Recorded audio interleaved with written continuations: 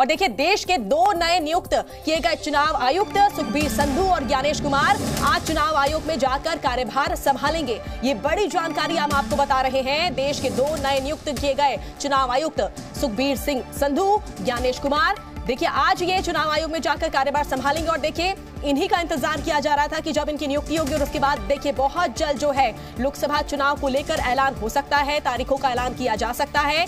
अब ये दो नए नियुक्त किए गए चुनाव आयुक्त जो हैं, सुखबीर संधू और ज्ञानेश कुमार, आज चुनाव आयोग जाएँगे, अपना कार्यभार संभालेंगे। ये बड़ी जानकारी हम आपको दिखा रहे हैं। कल ही देखिए, नियुक्ति की ये खबर आ गई थी, देश के दो नए नियुक्त चुनाव आयुक्त जो है सुखबीर संधू और ज्ञानेश कुमार, इनके नाम का ऐलान हो गया था। प्रधानमंत्री नरेंद्र मोदी ने मीटिंग ली थी और आज ये खबर आ रही है कि देखिए, बिना वक्त गवाए अब ये कार्यभार संभालने के लिए चुनाव आयोग पहुँचेंगे।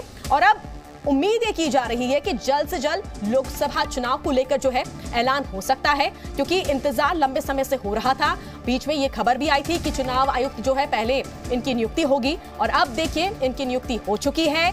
दो नए नियुक्त किए गए हैं चुनाव आयुक्त। सुखबीर संधू और ज्ञानेश कुमार। ये तस्वीर भी हम आपको दिखा रहे हैं। तो जल्द ही इलेक्शन कमीशन देखिए, ऐलान कर सकती है। नियुक्ति पर ये बड़ी खबर हम आपको दे रहे हैं। आज ये दोनों जो है चुनाव आयोग जाएँगे अपना कार्यभार संभालेंगे। तो सुखबीर संधू और ज्ञानेश कुमार आज अपना आ, काम संभालेंगे अपनी कुर्सी संभालेंगे। इलेक्शन कमीशन जल्द ही चुनाव तारीखों का ऐलान कर सकता है क्योंकि कहा यही जा रहा था कि जब तक चुनाव आयुक्त जो है जब तक इनकी नियुक्ति नहीं हो जाती तब तक जो है इलेक्शन कमीशन तारीखों का ऐलान नहीं करेगा। और देखिए नियुक्ति हो चुकी है और अब जल्द ही उम्मीद की जा रही है कि चुनाव की तारीखों का ऐलान हो जाएगा।